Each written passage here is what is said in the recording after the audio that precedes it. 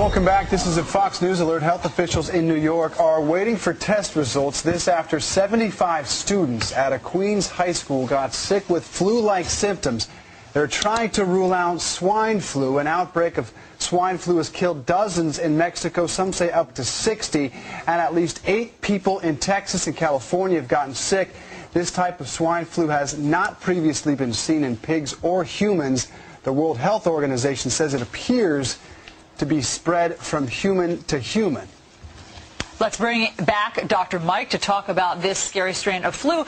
Uh, this terrifies me, the fact that New York City students may have been exposed to this. How can you tell uh, the regular flu versus the swine flu? Well, you have to test the, the patient and make sure that they don't have that particular strain and it's not just an average flu that's out there. Um, when you talk about things like this, you talk about a pandemic. This is a new strain. You know, everything on the planet wants to, to live and survive. So viruses will mutate, they'll change. And the thing that's a little concerning is that there is spread from human to human. Now, in uh, Mexico, we're seeing a significant amount of people dying. Right. Uh, and what happens is, uh, and what, what's going on is there's a, a fairly significant upper respiratory infection, like pneumonia, well, going on. Why is it? why are they dying in Mexico and eight people are getting sick and we're able to be treated in the United States? What's the difference? Well, that's the million dollar question right now. We don't know. Uh, the CDC is all over this, I can tell you right now. The things that people have to remember are, number one, you wash your hands. You make sure that you don't hug and kiss, as much as I love hugging and kissing you, Clayton.